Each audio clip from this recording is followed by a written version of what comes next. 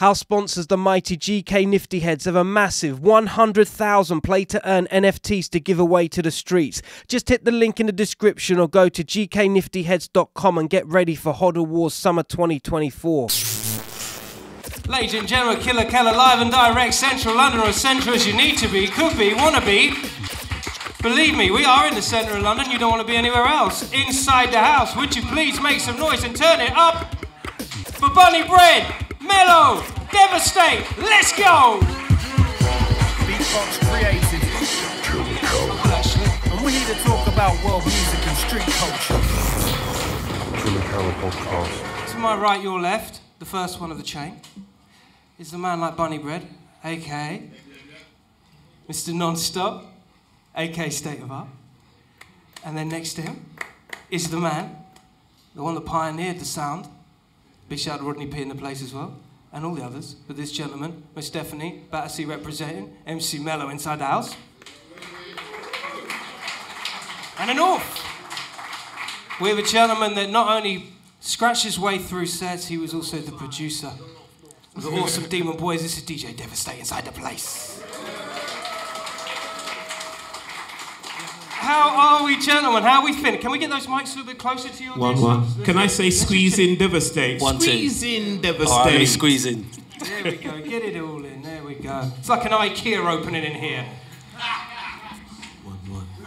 So let us begin, gentlemen. Uh, And uh, some of your compadres at the back will most definitely remember these golden days. But uh, for all of us that perhaps weren't there at Covent Garden or Charing Cross, tell us exactly what it was like back in the back in the early days when hip hop landed like a virus in the UK and global. And of course, we've got the DJ, we've got the MC, and we've got the writer, so we've got all different perspectives here. Let's start with yourself, Bunny B. Why? Hello, everybody. Nice to see everybody. Some new faces and some old faces.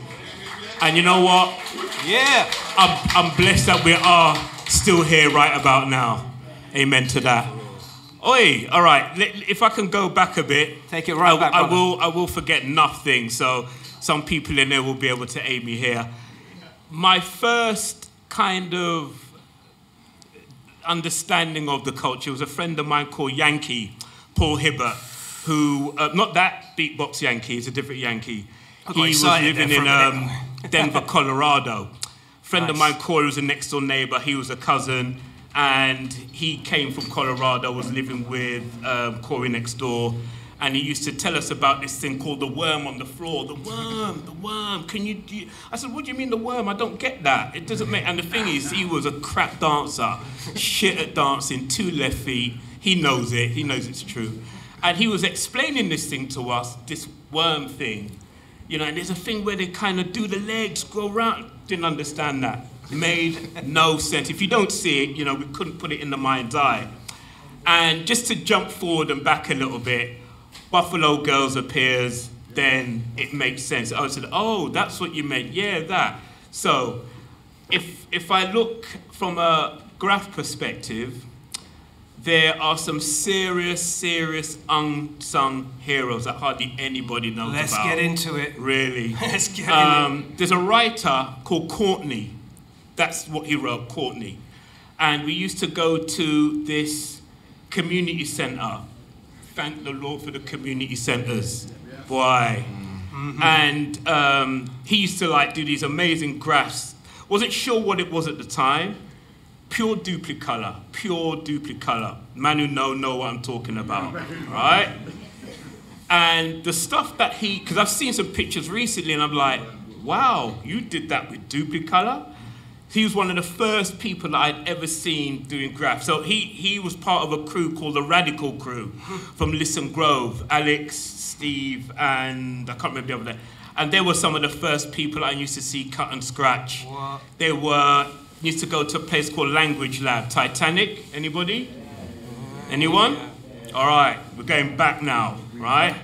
So then, man, if I could just explain, Mick and Tom used to do this thing called Language Lab in Mayfair somewhere, a place called Titanic. What they do, and I love this concept, I semi-use it, but not quite. They'd have a picture of like, they play music, playing tunes, mixing them together, very simple. but they'd have images of like Trooping the Colour, guards just marching. And then all of a sudden you see like porn, quick gone. and you're like, hold up a minute, you're still dancing. Then you see like a yacht going down the Thames, and all of a sudden more porn gone. And it was strange, but I, I kind of rated the concept, you know, because it kept you kind of alert what was going on. So big shout to them, man. There, if you get a chance, find them early, early mix and cut. I have to also then talk about Mastermind Roadshow, right? Can't I can't go any further without talking about Mastermind, and they are so integral. They started started off as reggae sound system. They're based kind of Willesden, Harlesden, Kensal Rise, and we would follow them like Carnival. We'd follow them everywhere, wherever they'd go.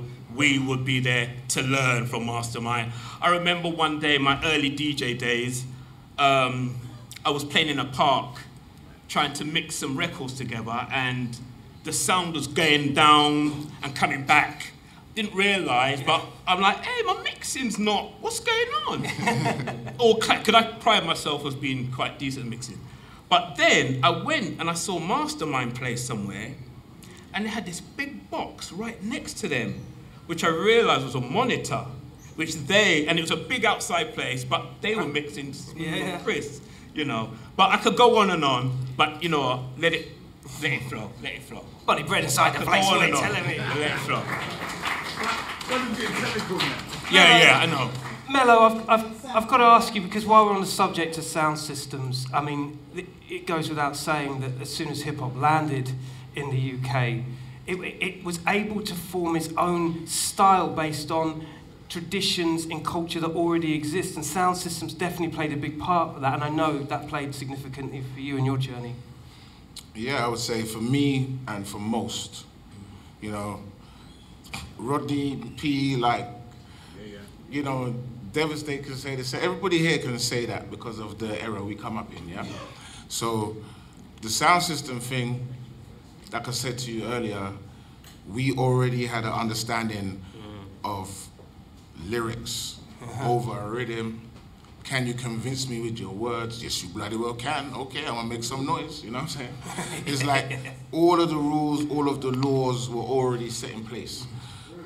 So when the, when the hip hop come from, I'm, I'm talking about like electro wasn't necessarily like that. You understand? Mm-hmm. Electro was another new thing, but you know it still had some of the kind of funk flexes and flavors to it, so that you know we could get with that too. For sure. Plus, it was ridiculously dope. But when we started hearing MCs like Funky Four Plus One, and you know, and Cold Crush and everybody else, you're seeing mic skills on a rhythm track, turntable, microphone. Crazy. So when the hip hop comes, we're, we're ready for this thing. uh -huh. But we're young, yeah? And we're still developing. You understand? We're still developing. I'll tell you this the first time I held a microphone in public was behind Covent Garden. Uh, Jerry Dammers from uh, the Specials. What? He used to have a thing called AAA, Artists Against Apartheid. And this is another thing, whenever we used to come from raves and that, you had to go to Trafalgar Square to get your night bus. So you, you have to do your stop off at the South African Embassy, blaze a spliff, have a chat to, yeah, yeah, you know, it was a non-stop boycott outside the embassy. So, you know, Amandla, South Africa every time. So we go down, you know, you go down into uh, Trafalgar Square where everyone's got to get their buses and, and, and go home and whatnot. And I've actually forgot my point. The point being, yeah, Yeah. Jerry Dammers. Right. You know, I might look 32, but I'm a little bit older. right? So anyway, I want to tell you this because he had artists against apartheid, sound system set up, warehouse flex behind Covent Garden, and that night, Rodney P, Bionic, myself, and there was other people there, definitely, you know, maybe Basil, a few others. And this was the first night that I held a mic in a place properly, right? We have been rhyming in the block, in the flats, on the road, to beatboxing, to finger clap, everything. We've been doing that. But it's the first time on a mic. And uh, I think it was, it was either the Wild Style rhythm or Dollar Bill that was being played. And I remember, man, that moment, you get them moments in your life, decision time, decision time. Do I take this mic or do I poop my pants and don't take the mic, right? I took that mic in my hand and then I spoke into that mic and I heard my voice coming back. And just like when Bunny was talking about, you know, there wasn't a monitor that was coming back. Mm. Okay, Jerry Dammers had a monitor. we could hear ourselves. And I spat my bars and I knew this is what I'm going to do. and Rodney was there and Bionic was there and they spat their shit and I knew that they knew that this is what they're gonna do. And so I'm saying that was a birth, a birth moment there. All of the stuff we explained before about foundations, sound system, reggae music, funk, boogie, the whole lot, it all came together for that moment. Yeah, it was all residing in us for that moment. Boom, it came out and confirmed us in what we know we can do and what we're about. So that same thing applies to everybody. The first time someone decided to jump in the circle and pop, lock, break, the first time someone decided they're gonna let someone hear them cutting up, the first time someone decided they're gonna risk going to a yard where they can get arrested, they're gonna spray a train or they're gonna spray a wall. Everyone had their birth. Hip hop is talking about birth. To me, it's also talking about renewal because every time you deal with your art form, you, you're kind of born again. You, you're, it's fresh again. You see me? And so one of the things that I look at is how hip hop culture can be just that same attitude. If we apply that to anything in our life, you understand, uh, uh, we're winning. Um, I think I just just have to Yeah. Can I just chime in on the sound system culture? okay, so for me, let's just talking about sound system culture. Like in 1985, I was into Saxon, Coxsone, Unity, and Jam Down Rockers. Excuse me. So we used to exchange sound tapes in school, and I just fell in love with people like Dad, Papa Levi, Daddy mm. Colonel, Rusty, and Sandy. Mm. So mm. because they they were kind of they were chatting in Jamaican, but they were like doing it in Cockney as well. Yeah. So when it came to our time to kind of get into the UK hip hop stuff and people like London Posse and Mello, they were kind of chatting like that. So it kind of resonated with me. So in terms of the sound system culture, I learned how to DJ as a sound man in blues dances. I did my chops in like back in the day when we used to break into houses and we used to put like bin liners on the windows and there was sweat coming on the you know coming coming, coming through the window. So that's where I kind of learned how to kind of DJ so I'm from a reggae background but the hip hop bug really bit me when I went to New York in 1985 with my friend Terry. We always say that we went to America with Saxon tapes and we came out with Dougie Fresh, Lisa Lisa.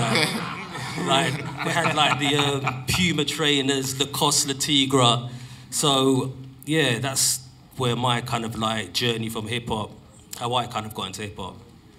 It's incredible. The tech, the technology of its day was limited. The idea of Yeah. Doing or replicating what was going on on the radio or in clubs or when you seldomly get a chance to watch it on TV. Like, how did you guys pick up the materials that existed? Because all three of you are in different lanes here, so this will come with some different answers, I'm sure. Devastating. In terms of the material, I mean, I was fortunate because my brother is about six years older than me. So he was collecting funk, boogie, jazz, or what we now called rare groove. And we also had access to my dad's records, ska, old style reggae. So we had samples.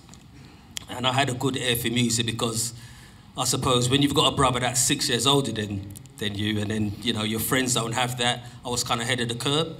So when it came for us to start making music, I had I had a really good ear. Um, then I think it was in 1987 we got our first MPC. Wait. So, and I wouldn't say this in front of everybody. I'm going to say it now, but I had my MPC before DJ Premier, man. so, I, I, you know what I mean. So we we had our. M- so no, seriously, we, we. I had my MPC early, MPC 60, and I really mastered that. I did a lot of chops, a lot of programming on it. Then, yeah, so I suppose before that we were doing like tape to tape stuff, but then when I got the sampler, yeah, I really came into my own. The game changer.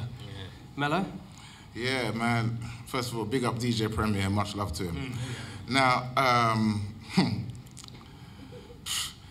see the album Thoughts released, right? That album was made using an 808 and a 909. That was it. Most of the music, uh, this is due to Sparky. Sparky is a genius. Why is Sparky called Sparky? Because he's an electrician. Just in case people didn't know. I didn't know. I didn't know for years. And I asked him one day, why you call Sparky? I'm a Sparky. I'm an electrician. That's what I'm training at, because I'm a Sparky. I was like, ah. Anyway, that's what Sparky had. And uh, uh, uh, emulator keyboard. And the whole album was made from that. Wow. I mean, Sparky's a genius. It's like, it's about what can you do with the most minimal things you have? Mm-hmm. Yes. Well, you remind yourself every day you're a creator. And I tell this to people, you're bringing, you're bringing something from the unknown into the world of the known and then putting a shine on this thing and then presenting it to the people say, there you go. Not even what do you think, what do you feel? You feel me? Mm-hmm. Right? So that was, that was, that's all we used. Cutmaster Swift, Cutmaster Swift and, and Pogo, I think they had this little sampler thing. I think it had four second samples on it. Wow. So they would do little loops. Yeah, yeah. But out of that, Swift took the Wild Style movie and cut out the little bits of that Wild Style rhythm and pieced it together and made a dub plate of the Wild Style, you know. Wow. Yeah, yeah, right? He did that. He told me Right. that recently. He told me that recently. Right, but the story not done. So we go to New York in 1989, what you mentioned before. There was about 21 of us from Covent, and then there was a couple of men from up north. So we had a crew about tw- 26, Yeah. and then we met up with the Brooklyn man then from Downstairs Records. And then there's about 30 odd. And then we met with all the LA man then, and we, we went to, we went to um, Salt-N-Pepa's record label thing.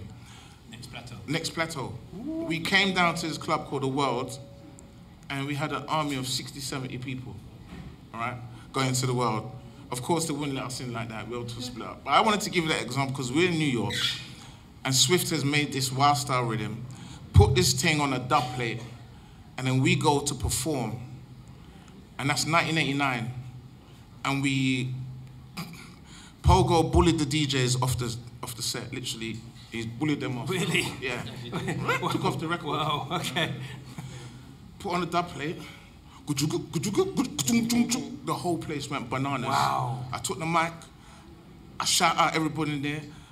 I shout out Brooklyn, but then I shout out London because that's where we are. Yeah, yeah. I see these two big hands from that side come over the, the top of the DJ stand. And I saw this head come up with a hat, glasses, and one eye looking this way, one eye looking at me. Yeah, Fab Five Freddy come up. the fuck you get that shit? You get that? What the fuck you get that, man? You get that shit from Jazzy B? You get that shit from Jazzy B?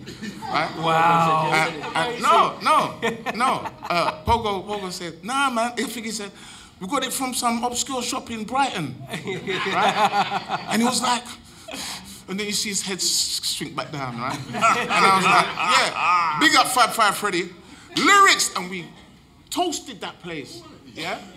Okay, Muggs from Cypress Hill, you know what I remember about Muggs? Go on. Muggs was the bar, yeah, where you serve your drinks. Muggs was on the bar, hitting the bottles on the on the. This is how people were going mad. So I'm telling this story just because again, we had minimal things. Swift had that four seconds, Yeah. and he made a, a dub plate that tore the whole place to pieces. With man. restriction comes creativity you each and every time. There you go. Each and Necessity is the mother of invention, right? Yeah, for sure. It is. And Bunny, from a from a creative point, the restrictions that did lead to creativity. I mean, for, for Graff, I mean, you know, you were fairly limited at the time. I mean, it was an art trying to find your caps, let alone. Yeah, yeah, yeah, yeah, yeah. Look, I'm, I'm just gonna go straight in. We were little thieves, right? I'm just gonna go straight in. You MCs and producers, you were good. No, we were, we were thieves as well. Without us teeth in spray cans, we were I always uh, say two, two things were crucial to us racking and style. Mm. Those two things. Because you can't get up without racking paint. And if you ain't got style, you'll be told about it. Yeah. Instantly. You'll be wiped out of existence. Yeah. You know, straight away. In our generation, anyway. I know it's a little bit pally pally now, right? People are nice. Oh, that's a nice tag. Oh, that's some nice 3D. I love the character. In my time, we will tell you that's fucking shit. Yeah. Your crew's shit, and we'll burn you any day of the week. Max, where you there? Matt Kane, you there? right. You know it. We'll tell man about themselves. All right? So, in our day, we had like the cheapest, worst paint you could possibly Yeah. think of. One nozzle, Carplan and duplicolor. We had a few as time went on, right? But let me tell you, with that little can like that, you had to know your king craft. Mm-hmm. You had to know your craft. All respect to the writers now. You've got brands with like overall, you probably got about 600 colors, right? True that. To, to do skin tones now, you've got about 15 shades of brown, you know? And now for us, then there was um, Sahara beige and a dark brown and an off white. So that was it to make a black man, an Indian man, and a white man in three tones. Right? So listen. So don't tell me nothing with this now generation that you're this and you're that and you're that and you're this. It come in my time and let me see you bust them portraits with tree tone. Right? So it was hard work. We had to just take what we had and master the craft and try and understand how to fade with the one nozzle. Yeah. You know? Yeah, Um, for me, I, I was DJing and graffing at the same time, hand in hand.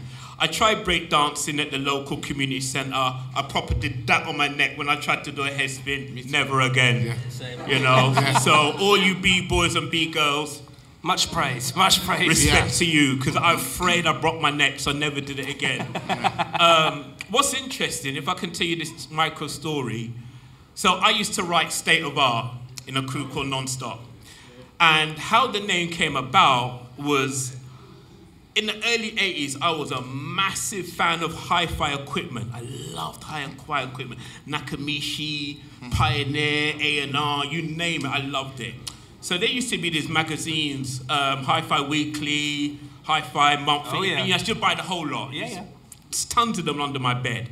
When I used to go through them, there was always this term, the state of the art new turntable, you know, state of the art cassette deck, state of the, you know, and I used to love that term, state of the art. And I was like, you know what? I can use that for me. State of art. You know, the new, the latest, the greatest, the freshest, the newest technology and art. You know, that was the emphasis behind, behind the name. So I just merged the two, my love for hi-fi equipment and DJing and to graff as well. You know, so yeah, that's my kind of, like I said, we use the crappiest paint you could comprehend. And there was a brand called Carplan. Man know? Man know about Carplan? That's right. Runny that's yellow. right, Drax. And there was a yellow that we used to just call um, orange juice yellow because it was like, you remember Tip Top, the orange juice, diluted with water. It was like that. so, all you writers now, come roll with us.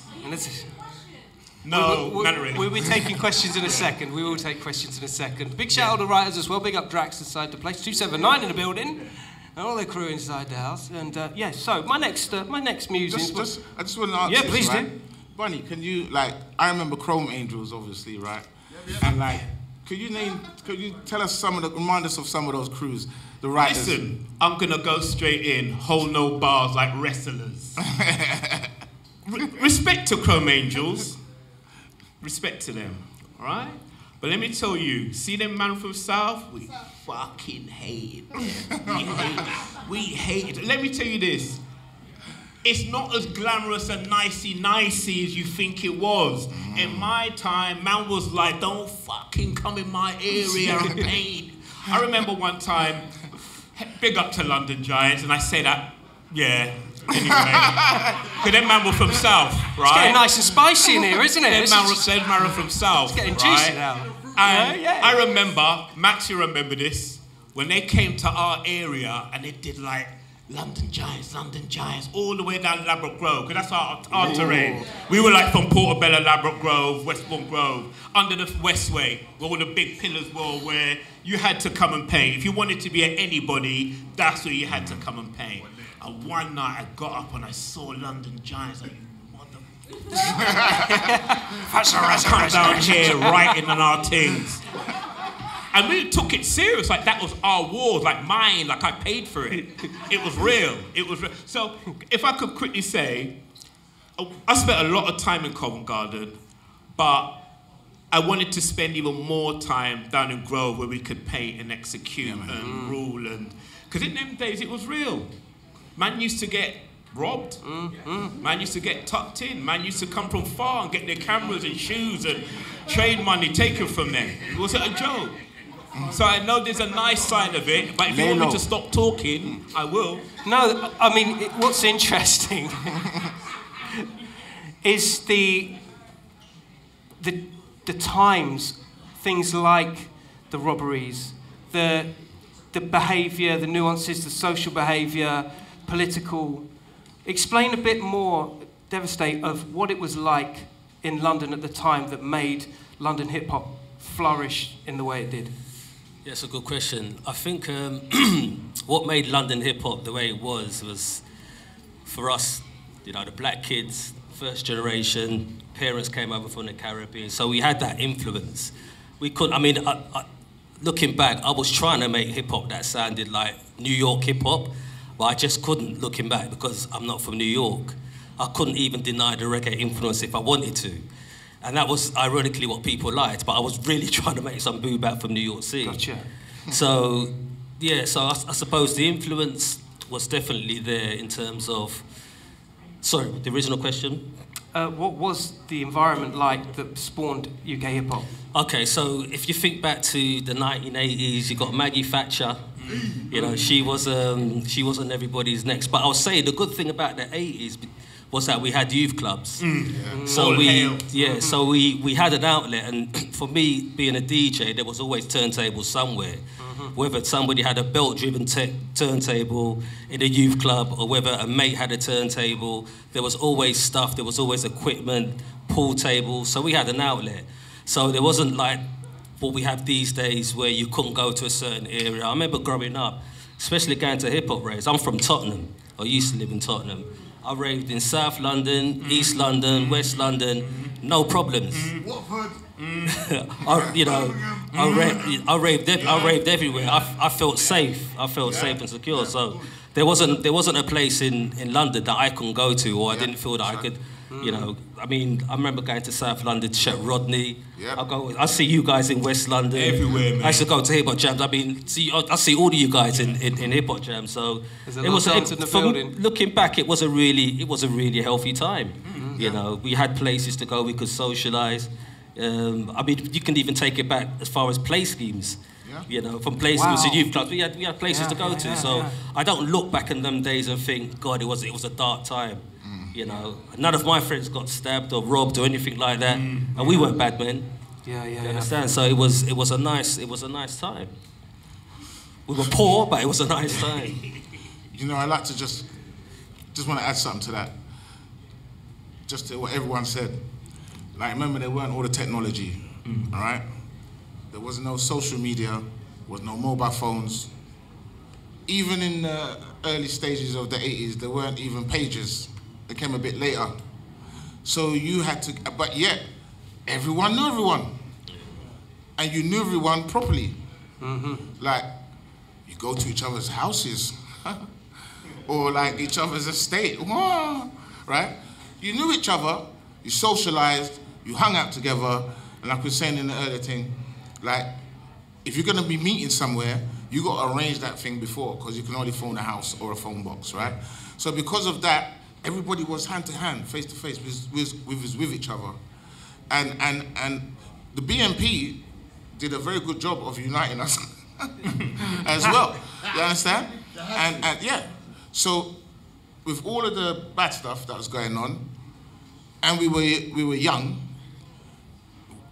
we had each other, and all that bad stuff. We could turn that energy into our art form. Yeah, that's right. And also, it was also hip hop was rebel music too. Mm-hmm. It was it was our like lick back. It was our busting shots back. Mm. That's really important because I look at it now and it's like I think there's everyone is so much more remote. I could Yeah. go to I could go to Tottenham. I used to go Hackney on the regular. I had to take whole heap trains to go to this man's yard, Danny. Right? I could go anywhere. West. I, s- I learned how to, to, to body pop and, and all that stuff from Mastermind Roadshow, down at Mobley, down at Ladbroke Grove. Mastermind themselves with my teachers from the very beginning. Mobley? I used to go there all the time. Oh. oh. I, I, I, I, and I, I, every, every Thursday, I get the 295 from Battersea. Right? Big. Wow. Ladbroke Grove, I love Ladbroke Grove. Always have Lab. Could go all over London. Then hip hop and the music took us to Birmingham, Manchester, Sheffield. You go on all days. I don't know if those things are happening, and it weren't dangerous. Okay, at the end of the night, everybody is gonna have fisticuffs with each city, right? But nobody got stabbed or things like that. It was boys being silly and some girls, and everyone goes home happy. So you know that was important. That was important. I don't know. I don't know if young people are gonna have that again. Plus, there was parties, there was jams, there was mm-hmm. shebeen. You didn't have to get. You know, you could. You can take up the carpet in your yard, take out the furniture, bring in some speaker boxes, and have a party, and it weren't illegal, kind of thing. That's right. So yeah. Golden eras, man. Bunny, anything to add? Um, can I just big up Newtrament? Ah yes. All right. Absolutely. Founding father. If man don't know who Newtrament is and his rock box nights, Foundation. please I beg, find out. Man had the wickedest, wickedest hip hop jams you could ever think of. Legend. Early A's. Please look up Newtrament. Yeah. Yeah, I've spoken in the book. Is that? I, I'll say this. I don't know if anybody else felt like this, but when I was, when I first immersed into hip hop culture and was painting and stuff, I thought I was gonna be there forever. I don't know, but, but for me, Yeah. I thought I'm gonna be doing this exact same thing forever. I'm gonna be 16, 17 years old for the rest of my life. Nothing and else those, mattered as much. And those Exactly. parents, them people 100%. called parents, hmm. I don't know about that. Well, that's me now. But, um, but to, to- on, a, on a real note, um, I think it was like you say, Mello. It, it definitely pulled us together. Yeah. I'm gonna say, I have friends now, good bona fide friends, Lifelong friends. who friends. are here now. They're all in the building. Make some noise. Yeah, and and Asian brothers, white brothers, black brothers, and then my brethren's right till now in my late fifties, and hip hop did that. Yes. You know, Amazing. that's Absolutely. what hip hop did right Absolutely. now. Absolutely. That kept me, that brought me lifetime brethrens, Absolutely. lifetime. and globally as well. Yeah. When you're in Covent Garden and all people are coming from all over the world, they got to come down to Covent Garden. We all get linked up. All right? It's we got all of us have got peoples all over the world. I'm talking pre-social media, people from all over the world because of this music, because of this culture. Incredible. You know what I mean? Big up Normski trying to hide in the back there. Yes. Yeah. Can I even add? Um, we had a pen pal friend Yeah. who would Pen send pals. us graffiti images. One of the guys was called Hex, and he would send us stuff, Mm. and we'd write, "Oh Hex, that's lovely. I love New that." York Hex. no, No, no, LA, from LA. LA, LA, Hex. LA Hex. Send it back. UTI. We'd have to wait like four months. Yeah, I love the piece that you just did. By then it's probably like gone over. But that's what we had. We didn't, Yeah. like we say, we didn't have no internet. We had pen pal friend. That's what we had. Man across the water. Send me a picture, I'll send you one too. Pre-email. There you go. See.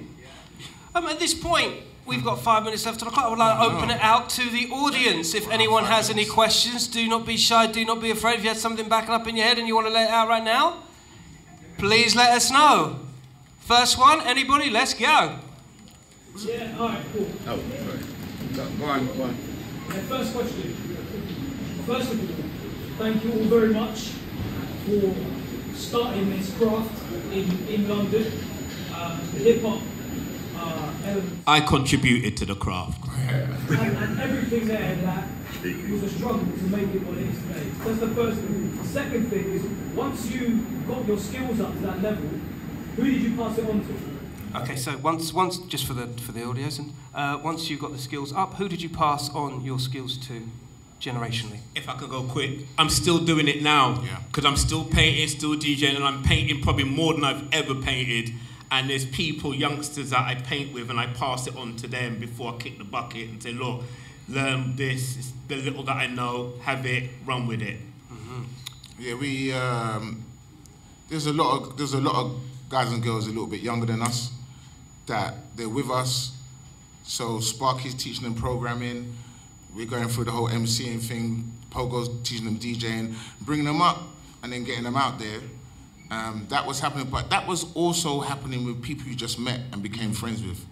You know what I mean? Mm-hmm. I'm, I'm going to use this word. No, it's a bad word now, grooming. But the reality is, you were teaching people and, and bringing them through in the art form. Mm. And because there was a space for them to do it, they made it their own. Mm-hmm. Mm-hmm. Devastate. For me, nobody was interested, to be honest with you. I tell you why, because most of the people that I knew, most of the people that I knew, they wanted a rave. And like when you're when you're an artist and you're doing this thing properly, you got you, you got to sit you got to sit at home, man. You got to put the hours in. You've got to really kind of be antisocial. You can't be at the cool places. So the people that I wanted to bring in, they were like, Nah, man, you've been you've been programming that beat all day. I want to go out. So there was nobody that was really interested when I, you know at the time that I was doing it. Then they ended up dancing to your music. Yeah, Yeah, true that. True that. Any more questions from the front there? Anybody? Don't you be shy. No, there we go.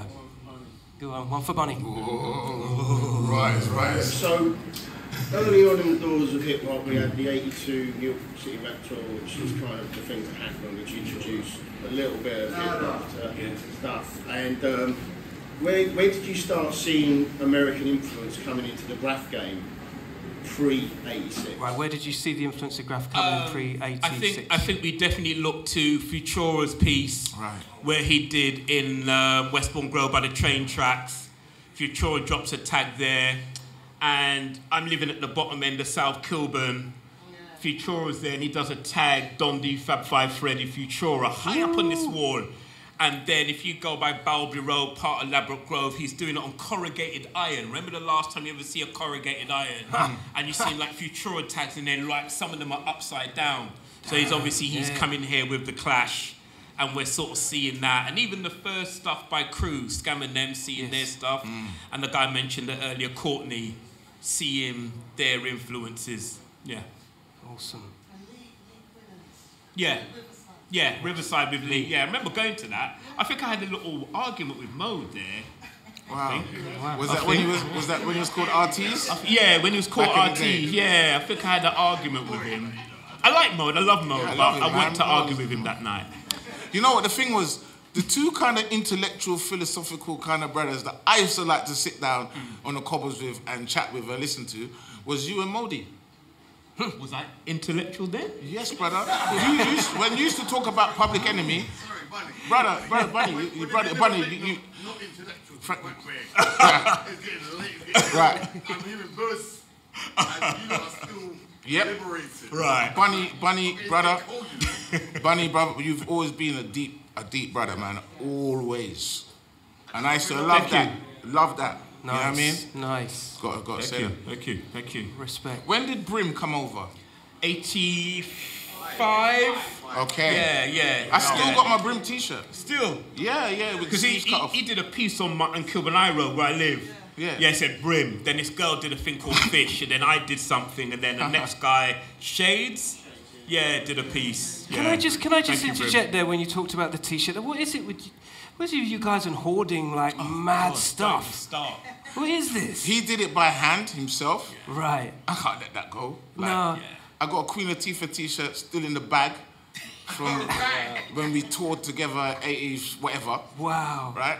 Got enough t-shirts. No, they've got to keep them. Got to keep them. Yeah. Got to keep Even though they're anything. faded and pull out. They don't fit me anymore, so I got them. Dev- devastating. I know. This is a weird thing because um, I was part of the vibe back in the day, sort of thing, and I moved house about 85 times. But some of my stuff is I don't even know where it is. And you guys have managed to keep the things, and that is part of the thing that we have to keep for our, our, our hip hop. Because otherwise, what could, what could happen? This is my opinion. Would be would be replaced, and then, and, and then You're, you're, you're, you're, I'm gonna turn up. So my thing is, if we don't keep it to ourselves, I should tell myself as well, is that somebody will one day usurp it from us and say we didn't do it, and say they came up with it. so it's all about proof of proof 100%. that. That's why as a DJ, Okay. I still got my records. Gotcha. I still play them. Gotcha. So what do you think about that um, as, a, as a thing that we have to do in the world we live in? Because to me it's a bit horrible. Preservation. Preservation. Preservation. Take, make archives. Take your stuff collectively. You're doing it here. You've got like magazines and records and sure. archive our own shit. Yes. And we'll take You everyone know. round the back later when we finish here. You can come Yeah. around and see the rest Yeah. of the arts arcade. Archive your own shit, man. And Don't you know- give it away. Do you know, Bunny? You know where you s- where you see a perfectly, massively brilliant example of that is in the book.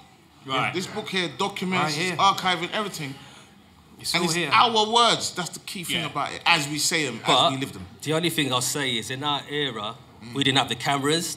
Yeah. So I think the only person, all right, we've got bloody Andy, Yeah. Normski, Normski. but we Richard. didn't have we didn't have access to like Hayes. and Michelle. We didn't have access to like phones. I, I wish if I had half the pictures of the people that I come into contact with, Yeah. man. Honestly, But devastating. What's funny to me is back in the day, there's lots of photographs of me doing what I'm doing, and I don't have it. You know why? I'm doing the thing in the middle of the cipher. Yeah, yeah, I'm not. I'm in my head or something like that. of course, of course. Yeah. And luckily, we have people like Normski that did take. Yeah. Mm. Can we make some noise for Normski? He's please, one of my please. absolute heroes. I love you to bits, Norm. Can I say, go and buy his Blood Clot book. It's wicked. Yeah. His Yo, book is bad, and there's he's an got me in it as well. so. So, His book in the other room there, you can go and have a look at Norm's book. Like there's lots of books, Yeah. magazines. You have to go and so check that one out. more question from the crowd. You, you, my dear. What- Thank you. I'm gonna try and put three questions in one. Okay. Basically, I work in like culture and arts, and like, I'm, I don't know if I'm ADHD or something or blah blah blah. But basically, my question is, I'm born in the '90s, so you guys were you guys were in the scene, like, so you saw what it how it affected the culture and like how it changed the world, and and you're part of it. So I want to know, like, as artists and creatives, what difference do you think art makes now? And how do you translate that from someone who's creative to someone who's not creative? What's the, what's, what- what's the difference between art and I'm just going to keep now? this real simple. There's a phrase that I always run with. It's not who creates it, but who controls it. Mm. All right? Think on that. It's not about who creates it, who controls it. So that's for us to control the shit that we create. Because if not, somebody else takes it and rubs us out and puts another face and another t-shirt on that. That's that may not answer your question, but roll with that for now. Very quickly, uh, Mem- Mello, yeah. You know,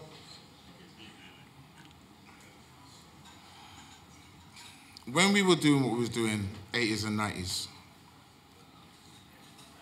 everyone's social situation was different, our economic situation was different, and how we lived was a bit different. We still were more together. I think what's happened now is that a lot of artists can become artists selling records or selling, you know, selling, getting their stuff out there, getting it heard but they can develop at home by themselves and get to a level where they're brilliant, kind of thing. For many of us, we got to the level we got to not by staying home, but by like being amongst other people who were directly influencing us. And we were directly in the mix of the political, social, cultural thing that's going on around us. And our parents' generation and maybe our elder siblings' generation might have come from Africa or come from the Caribbean. You understand what I'm saying? So it's another generation. Generation X is a different generation. You know what I mean? How can people do that now? I think what you're saying. How does that translate now for people now? I think all the same things apply. The belief in yourself, authenticity, the hard work, the perfecting your craft, perfecting your skill. One of the big differences now, you don't need a publishers, you don't need a promoter, you don't need a record label, you don't need any of that. And you don't need to pay thousands and thousands of pounds studio time to use it to make, make Yeah, a record. too. So now it's easier. Plus, they're exposed to so much different types of music. And like with the adv- advent of AI, I'm hearing some wicked AI tunes. Yeah. Have you heard I got five on it? Like, the, so if people are going to use that as a tool, it's what we come with as humans, and we use what tools are there, but we don't know what we can make. You know what I mean? I think the things are still the same. You- mm-hmm. Human beings have to utilize what we have. You have to have a vision, and you go for it, even if that is about fun and partying. Mm-hmm. And lastly, Devastate, Yeah. question to you. I think it's an amazing time to be an artist, you know, because like what you say, you don't need a machine, you know, you don't need you don't need anything. You just need your laptop, and you need you need to have the balls to do it. Um, I, I wish that we had the tools that that are around now. Would be bloody millionaires, I tell you that. So I would say, um, go forth, go forward with your art. But the only thing I'll say about these days is that there's a lot of clones. I think so many trends. People want to, you know, be the next hot thing, so they, everybody's doing the same thing. So I think that's the downside of these days. So my advice to any artist, just stay in your lane, man, and stay in your lane and just stick to what you want to do, man. Yeah. Brilliant. What a, Does that address? Does that does that address your question? what a Jerry Springer sign off. problem. Nice. And thank you everybody for throwing the questions out there. Um, so the book is original London style. You can get it online. You can have a look in the Street Culture Library. Would you please make some noise for Bunny Bread, Mello, and Devastate? Wow. Thank you very much. Can, can I can I big can I big up my generation, please? Talking about my generation. It's lovely to see all the grey beards up in the place. Salt and pepper, salt and pepper. So, that's it. Thank you so much. And listen, I can show you around the back there as well. We've got the graffiti exhibition. I'll do a grand tour for all of you if you fancy it. And we've got the Street Culture Library in the back as well. Listen, Killa Kela, out like in was out of fashion, all right? Remember, crime don't pay, but neither do they. Stay lucky, take care of yourselves. It's the beginning of Friday evening. You're going to love it. Easy. Dope, man. It's dope.